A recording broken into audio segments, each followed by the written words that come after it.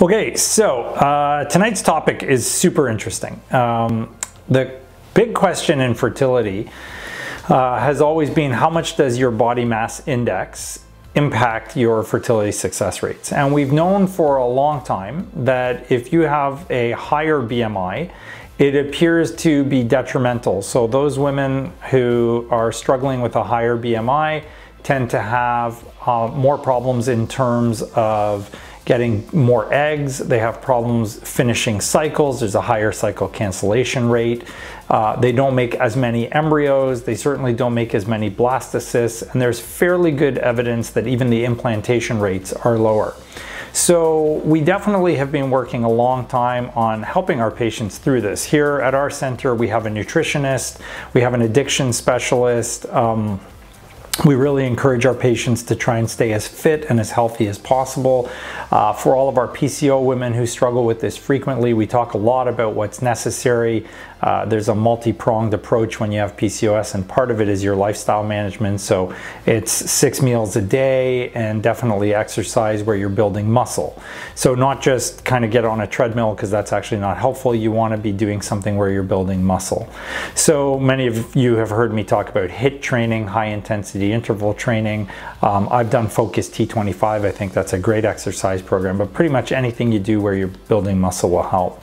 And we've encouraged women uh, all through this time to engage in weight loss or weight reduction because there is good data that demonstrates that if you reduce your weight, even 5 to 10 pounds um, or 5 to 10%, which is even more important, that you will see an improvement in multiple factors, including ovulation, uh, regular menstruation, making more embryos, making more eggs, and implantation as well. So there was a really interesting study which came out of a journal I wasn't really anticipating it to come out of, but I was scanning through the various journals last uh, week and I thought this was a great study to bring to your attention and really important for me as well. So this is from the American Journal of Obstetrics and Gynecology. Now the AJOG journal is not the one we turn to for fertility things. That's usually fertility and sterility or human reproduction, which is the European one. And so this was a really interesting uh, finding because it's in a journal that it wasn't really expected to to be in. So what they did was they used the data from something called SART, and SART is the Society of Assisted Reproductive Technology in the US. And if you are in a US fertility center, they basically make you sign up to be part of SART. And when you're part of SART, you actually have to report to SART every year with your results. We have to do it here in Canada, and in Canada it's called CARTR, C-A-R-T-R, and in America it's called SART. So these folks wanted to analyze what the impact of age was on your fertility outcomes, what the impact of BMI was on your fertility outcomes, and then they wanted to see if there was an intersection between the two where maybe it wasn't as important to be younger or older, or it wasn't as important to be heavier or lighter. So uh, kind of an interesting study because no one's actually looked at it in that way before. Everybody's always looked at body mass index, but they haven't broken it down by age or looked for sort of a, a cut point where you can say, hey, it's not as important anymore. So uh, because they're using SART data, they had access to a huge database. So they went all the way from 2014 um, to 2015 and they extracted data on 51,959 cycles. So huge study, giant numbers. And out of those, 50,711 of the cycles resulted in an intention at least for a fresh embryo transfer. So they were focusing on the fresh, not on the frozens. And just to give you some background info, when they looked overall at the outcome from those cycles, it's pretty reasonable. The clinical live birth rate was 41.2% after they included subsequent frozen embryo transfers and the initial fresh embryo transfer.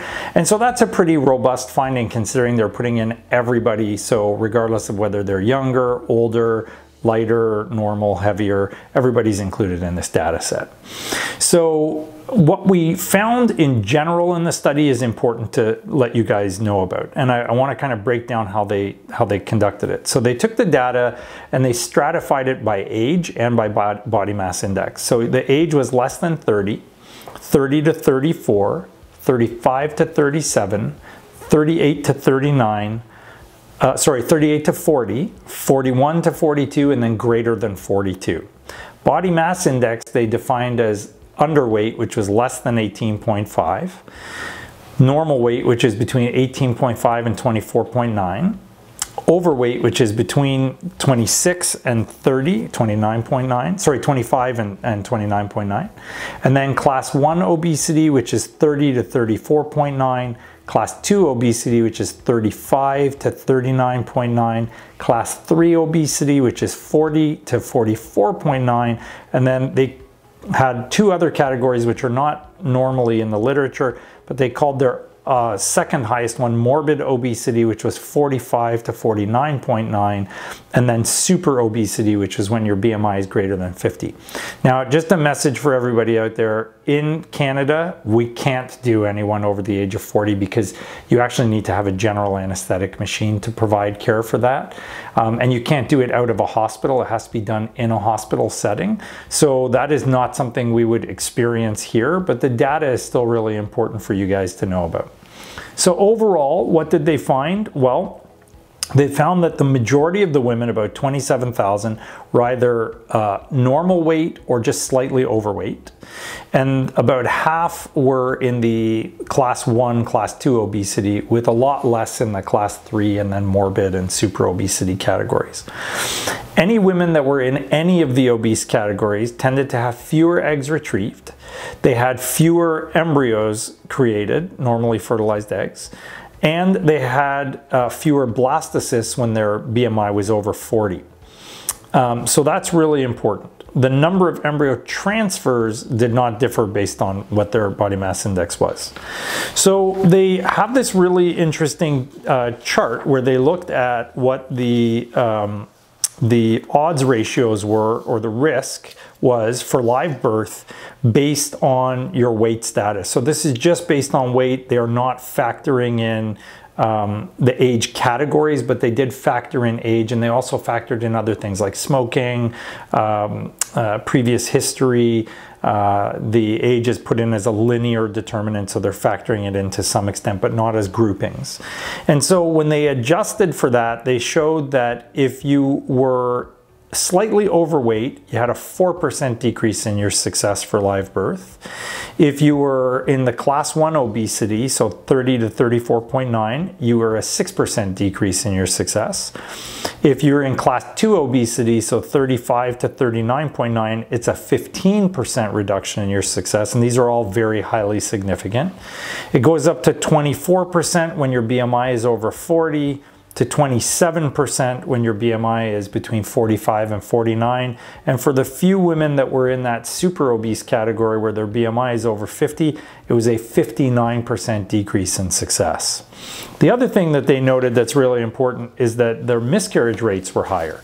So they have a chart um, looking at the miscarriage rates, and when they examined the miscarriage rates, they also found a, a very similar sort of um, finding where the, the miscarriage rates were actually higher. So when you look at those numbers, um, they show that it's 12% higher when you are 25 to 29, so again, just overweight.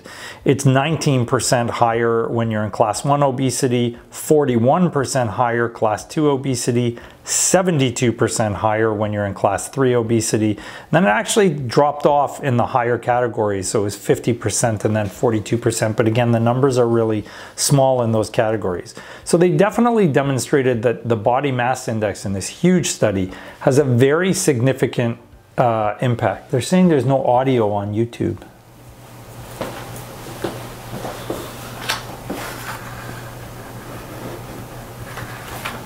Huh, I don't know why. Um, I just saw that there. Uh, sorry for the no audio on YouTube. We will figure that out. I can't hear you. Hmm. Volume? Is your mic on maybe? Or this guy here? Mm -hmm. Yeah, it, supposedly it's working. I'm not sure why we're not getting it there, guys. Uh, you'll have to switch to Instagram, uh, which is rahivictory.md, or uh, Facebook. Um, not sure why it's not uh, working. Um, okay, so back to the issues at hand. So uh, when they broke this down by BMI, it definitely has a very significant impact. Miscarriage rates are much higher and your success rates are definitely lower. So that can be a significant factor. When they broke it down by age, uh, similar kinds of findings, but much, much more significant. So if you were between 30 to 34 years of age compared to women that are less than 30, you had a 9% decrease in success. When you were 35 to 37, you had a 21% decrease in success. When you're 38 to 40, you had a 47% decrease in success. 41 to 42 is a 72% decrease in success. And then when you're over 42, it's a 92% decrease in success. So very, very significant. The neat thing with all this is they then compiled a table, which you can't really see, but here it is, super complicated. And what they did was they stratified by age, and then they stratified by your body mass index. And the interesting thing here is that if you look at the data, and it's too complicated as I showed you from that table to kind of uh, spell it out for you guys, but it basically shows that after the age of 38, it looks like your body mass index actually has less of an impact. Now that's probably because the success rates are drastically decreasing. Like I showed you just earlier a moment ago age has such a huge impact that you know you're looking at a 50% decrease by the time you're in that 38 to 40 range and then even more when you're in the 41 42 so because the success rates are so much lower it's looking very much like the body mass index in that age does not play as much of a role so once you go over 40 we actually see quite a substantial difference where the numbers are kind of all around the same so if for a 40 year old woman if her uh, body mass index was normal, she had a 20% success rate.